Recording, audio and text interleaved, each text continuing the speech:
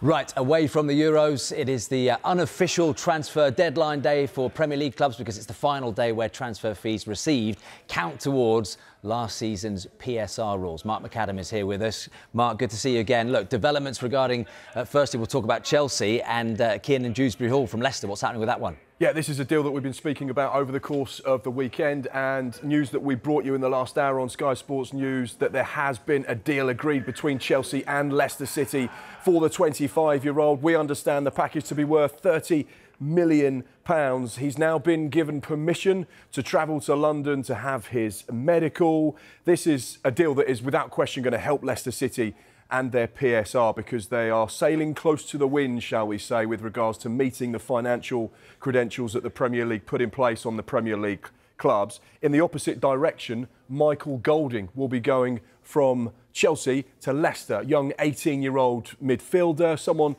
exciting. Obviously, not played a lot of first team football, so a big opportunity for him. But yeah, this is one of those deals where we're seeing a swap between two sides uh, Leicester and Chelsea here, but Chelsea clearly getting a player they like. Obviously, Enzo Maresca knows all about Dewsbury Hall, having worked with him in Leicester City's promotion from the Championship last season, uh, and of course, be linking up with a player, so he'll know exactly what he's getting. And I think you, you get the sense this is when you've got a manager who knows the player, who knows how he trains, knows his strengths. It makes the deal a lot easier to make happen, uh, and this is certainly what we've got here. So yeah, one to keep an eye on, but he's heading to London for his medical now.